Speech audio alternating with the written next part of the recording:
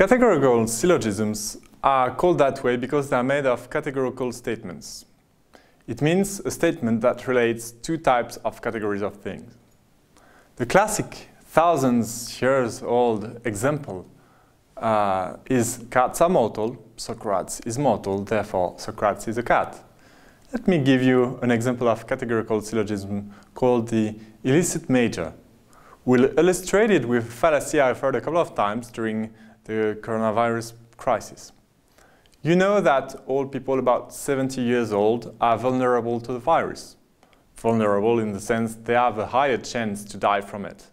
Hence all the measures to decrease interactions with the elderly. So here is a fallacy that I've heard a couple of times. All people above 70 years old are vulnerable to the virus. None of my friends is above 70. Therefore, none of my friends is vulnerable to virus and, and I should not pay so much attention to it. Well, that is a bit mistake. They say that all elderly people were vulnerable to the virus. They never say that young adults were not. Suggest, I suggest we figure out what's happening with a Venn diagram. They are very useful to understand syllogistic fallacies. It's possible you are hearing the words Venn diagram for the first time, but I'm almost certain you have seen some in your life. You know, there are those like diagrams composed of circles that uh, correspond to categories of uh, objects or people or whatever, and you try to make sense of the various intersections between these categories. Let's apply them to our coronavirus example, shall we? We need three groups of people, those who are vulnerable, those who are above 70, and those who are your friends. So here are the elderly people in orange. The scientists said all the elderly are vulnerable to the, the virus. We can see here the intersection between elderly and vulnerable people. I'll put it in yellow. And I'll leave the remaining of the first circle in black to show that all the elderly are all situa situated in this intersection. Now I'm saying none of my friends are above 70 years old.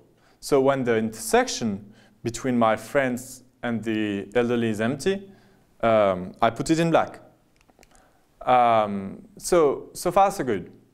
Now, if based on this diagram, which is correct, you say none of my friends is vulnerable, it means that you are saying that this intersection here between your friends and vulnerable people who are below 70 is empty. Well, no, it's not. Look, we did not put it in black in the first place. So some of your friends are vulnerable. And there are lots of people in their 30s or 40s that died from the virus. Even, of course, less than in the 70s, but yet. Uh, it doesn't mean that you, the intersection was empty. So be careful about syllogistic fallacies and don't let fallacious reasoning threaten your life or the life of your loved ones. There are a few other syllogistic fallacies out there. Some are a bit trickier than this illicit major one, but they are fun to learn, so feel free to delve into the topic a bit more.